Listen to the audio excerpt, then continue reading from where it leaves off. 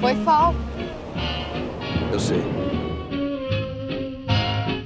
Se minha mãe sabe que eu beijei um jogador de futebol, Ia ficar nervosa. Mas se soubesse que era Heleno de Freitas, ia ficar com inveja.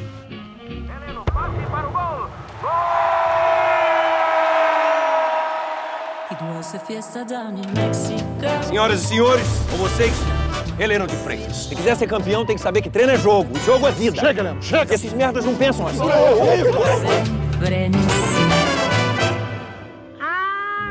Você não vai me convidar pra entrar pra conhecer seu quarto? Você vai ficar três dias sem ver mulher. Aí você me procura. Heleno, o que é que ainda te falta nesta vida? Dinheiro, mulheres? Conhecer o John Wayne. Acender cigarros como ele. Concorda quando dizem que você é um gênio temperamental? Não sou um gênio, apenas sei muito bem o que quero e o que gosto.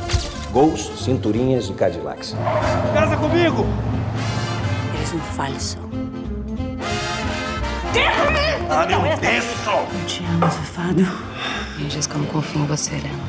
Eu gosto de você por todos os outros dias em que você confia. Apreciando a paisagem. Já disse que eu não preciso de treino. Você precisa se cuidar. Doutor, eu não vou fazer tratamento que vai me deixar frouxo e broxa. Eu botar fogo não é lugar de covardes, não! É botar fogo! Vamos vender você para o Boca Juniors da Argentina. Lá vai o homem que esqueceu que era só um jogador de futebol. E agora? Quero ver, bando de mariquinha!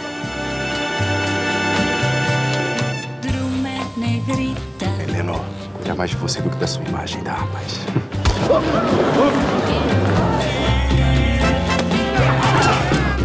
que você tem é grave.